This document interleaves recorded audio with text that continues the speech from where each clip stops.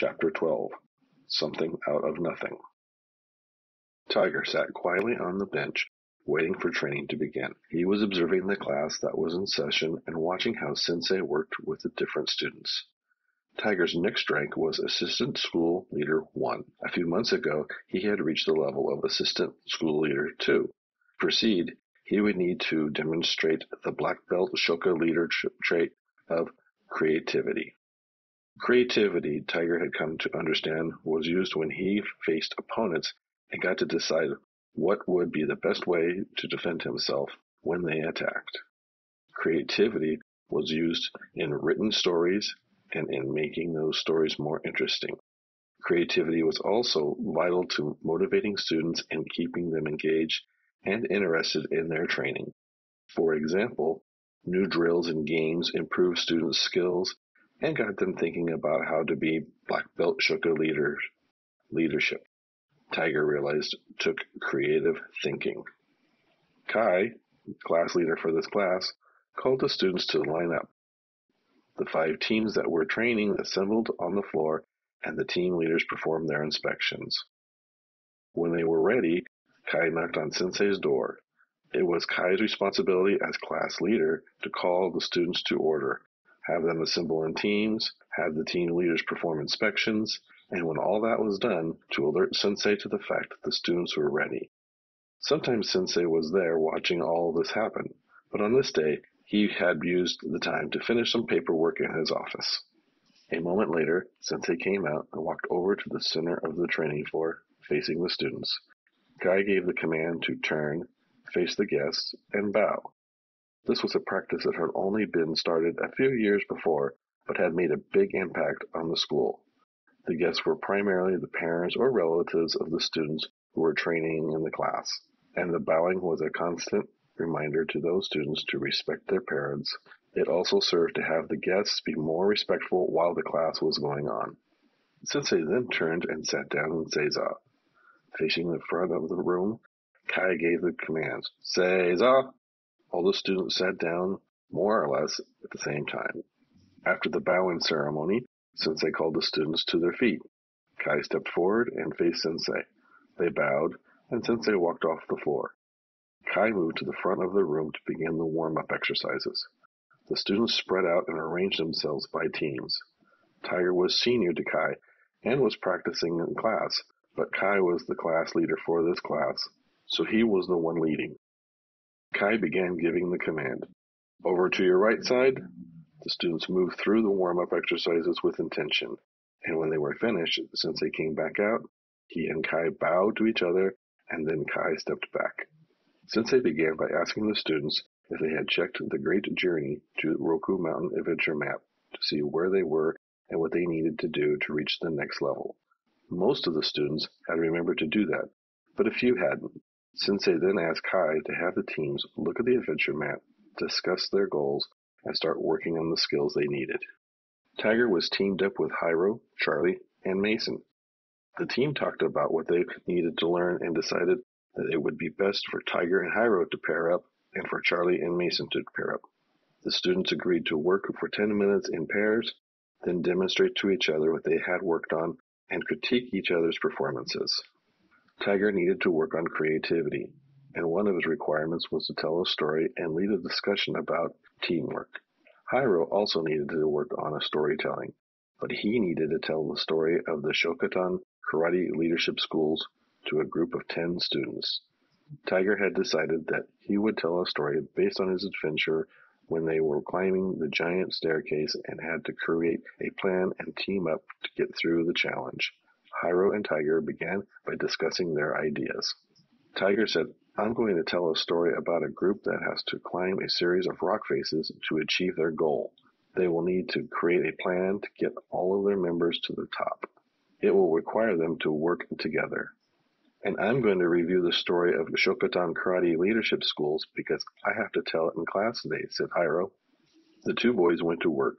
After a few minutes, Sensei called the class together and asked for the students to sit in a semicircle. Then he called on Jennifer, an assistant class leader. Jennifer had chosen to work on the class commands requirement. She would have to be able to give these commands before she could become class leader. Jennifer gave the commands, and then Sensei asked her if she could tell the students what the difference was between criticism and a critique. She told them, Criticism is used to hurt you, while a critique is a way to point out to you your weaknesses. Correct, Jennifer, said Sensei, who had asked Jennifer this question because she was overly sensitive when anyone said anything to her about her weaknesses. Now, Jennifer, I would like Kai our class leader, to critique your performance of the class commands. Is that okay?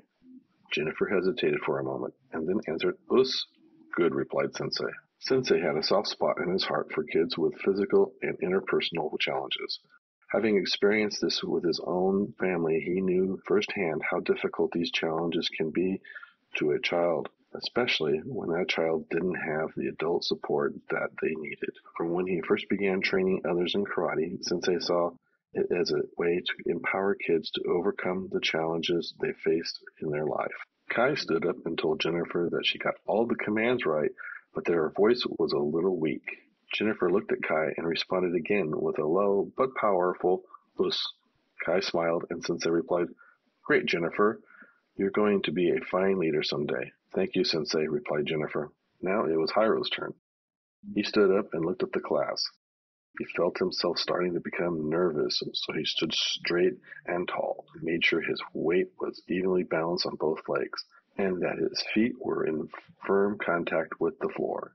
He looked around the room at the other students and found a friendly face in Tiger. He looked at him, took a breath, and began to speak.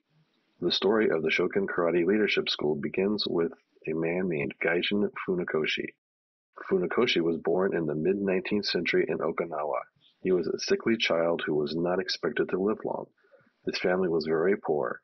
His parents started him training in karate at an early age because they believed that it would strengthen him. When he grew up, he became a school teacher and taught elementary school in the backwoods of Okinawa, a third world country at the time.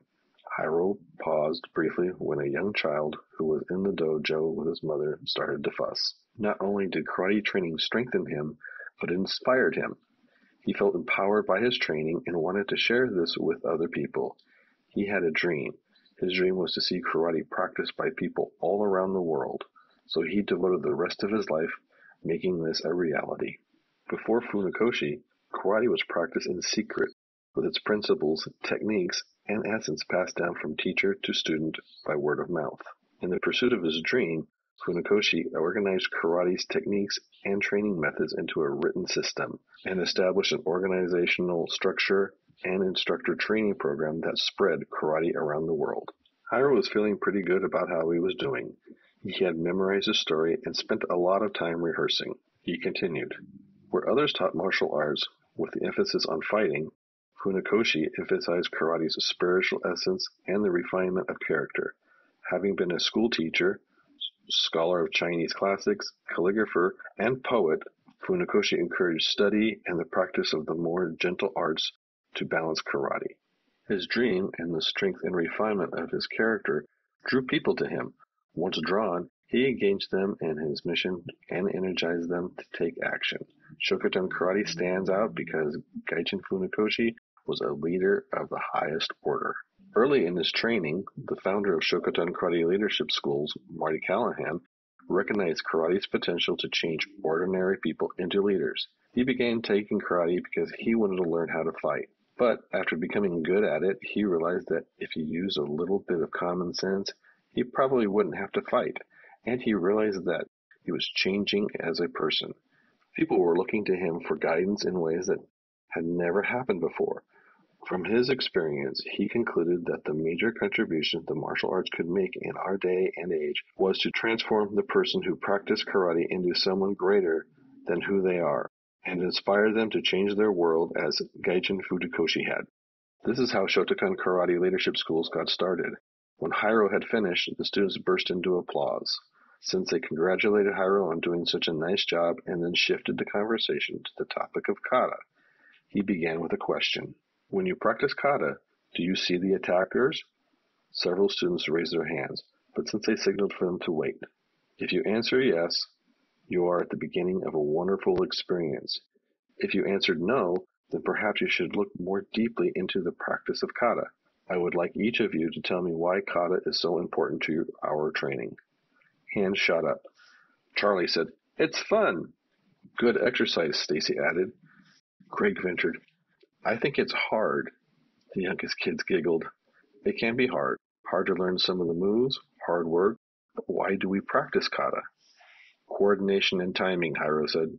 To learn how to use our techniques in motion, Tiger responded. What about creativity? Our ability to create is our most important asset. We learn how to create from practicing kata, Sensei continued. What else do we learn from kata? Stacy answered, It exposes our weaknesses and strengths. Anna added, It can be relaxing or a really tough workout. Sensei smiled. Kata is what you make of it. If you allow yourself, kata can be an adventure, a battle against many opponents, a meditation, or a story. The possibilities are infinitely variable. And in the past, there were two branches of karate, Shorin and Shorei. The Shorin branch was typified by light, quick movements, and the Shorei branch was typified by heavy, powerful movements. Sensei continued, each person has a body type which lends itself to one of these branches. Solid, powerful people are more suited to the Shorei style, and slender, quick people to the Shorin style. Gichin Funakoshi, the founder of Shotokan Karate, had the good fortune to have both a Shorin instructor and a Shorei instructor, but after practicing with both of them he came to the belief that both styles should be together as one. He reasoned that a small, light person would benefit from practicing movements designed for someone who was heavy and powerful, and that heavy, powerful person benefited from practicing movements designed for someone who was light and quick. And this is what he did in creating the Shotokan style of karate. Sensei looked around at the students. Alex, you are a brown belt now, and it's time for me to assign you your personal kata. What type of kata do you think would suit you best? Alex thought for a moment. I think I'm a combination of the two types, Shorin and Shorei, but I think I'm more Shorin. Sensei nodded. Yes, I agree. There are three Shorin kata that you will choose from. Bassai Dai, Kanku Dai, and Empi. You have been shown all of these? Yes, I really like Empi he replied. Sensei took a moment to consider and then replied, Well, I believe that Bassai Dai would be a better fit for you. Let's have you begin with Bassai Dai as your personal kata. In six months, we'll see how you're doing with it, and if we need to make a change, we will. All right? Alex said, Us. Sensei looked at Hiro now. What type of kata do you think would work for you, Hiro? Hiro spoke without hesitation. I would be a shorei because I am solid and powerful. That's right, Jion is the shorei kata that will be a good fit for you, Sensei said. Now spread out and start practicing your katas. The class went to work. A few days later, Tiger was standing before a group of students. Since he was working on attaining the Assistant School Leader 1 rank, he was required to create a lesson plan and then teach it to three different three-person teams. There were nine students in class this day, so Tiger had everything he needed. They listened attentively as he spoke. Today we'll be working on two different combinations. The purpose is to understand how to connect the basic techniques together. One combination will be an attack combination, and the other will be a defensive combination. When we finish practicing the combinations separately, we'll practice applying them one against the other. This is how you will learn how to use the combinations. In his study of creativity, Tiger had learned that human beings had a miraculous ability to create something out of nothing, and from nothing create a solution to that problem. In this case, Tiger was confronted with the problem of how to teach three teams to use complex sequence of basic techniques. He had taken several techniques and put them together in an attack sequence, and then created the corresponding sequence of techniques for a defender to use to stop these attacks. And he had done this out of nothing. He had imagined it all in his mind and put it down in a lesson plan that he was now going to present to his class. He could hardly stop marveling at the miracle of this. Charles, Rex, and Cash, you will be the first team performing this exercise. Bella, Angelina, and Cameron, you will be the second team. And Sammy, Kyber, and Maxwell, you will be the third team. First, spread out and we'll practice the combinations. Tiger started with the first combination.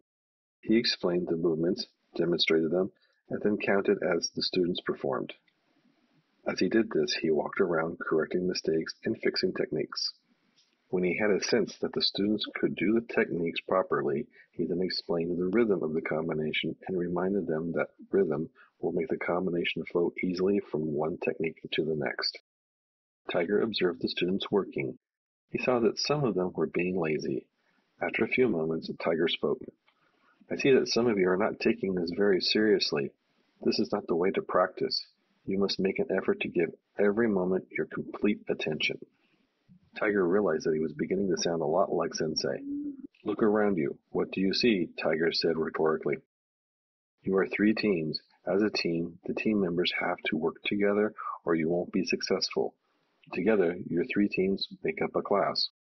For the class to be successful, the teams have to work together and this class is only one of many classes that make up the school. So for the school to be successful, the classes must work together. Does this make sense? Bus, replied the students. Tiger knew this was a good time to review the importance of teamwork, so he directed the teams to briefly discuss what it takes for a team to work together effectively. The students held their discussion.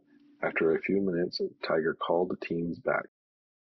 People need to have a common purpose, said Charles, spokesperson for the first team. Open communication, said Angela for the second team.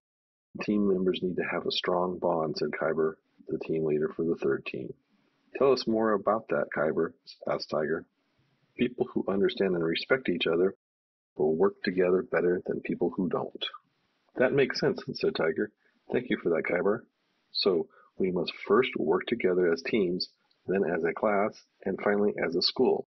This is how we become leaders, not just any kind of leaders, but extraordinary leaders. This is what it means to be black belt Shoka leader. With that, Tiger brought the class back to practicing the combination. The teams were ready to perform the first combination at full speed. Tiger explained that this meant going all out, but still executing the techniques with precision and rhythm.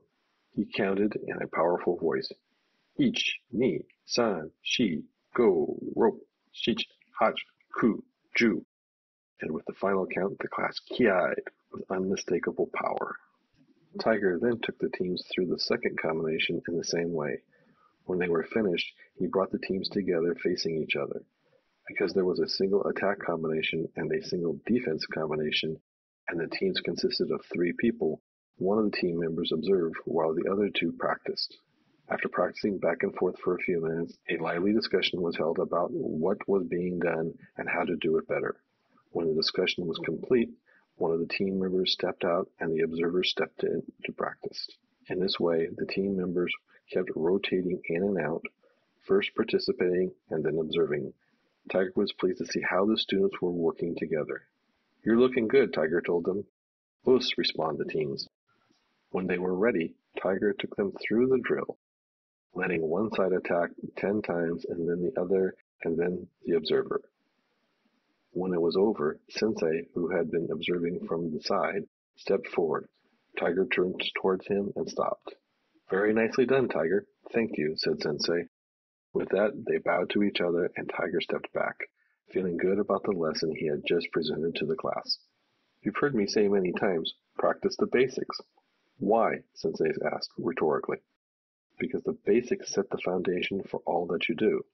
Just like a bicycle must have wheels or a house must be built on solid ground, our techniques must come from a place of strength, beginning with a firm connection to the ground.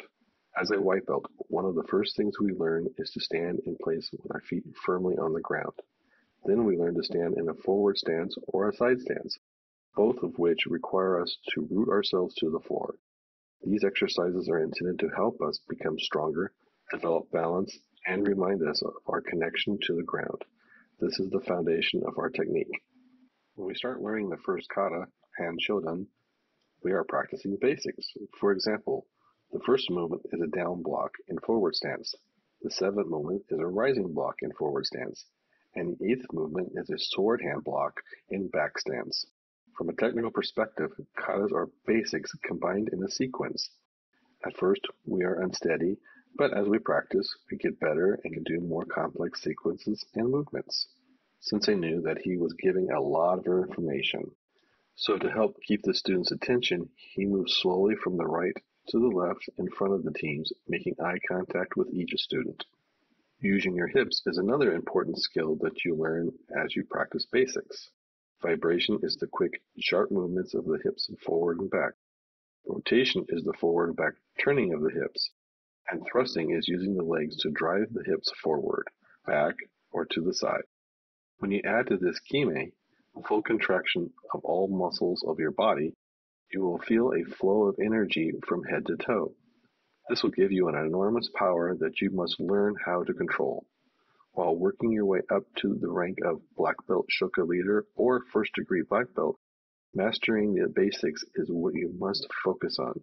First degree black belt means that you have mastered the basics and that you are now ready to learn advanced martial. Be mindful, there is no point when you know it all. Your own personal journey has no endpoint. There are a thousand lessons in a simple punch, which is perhaps not so simple after all.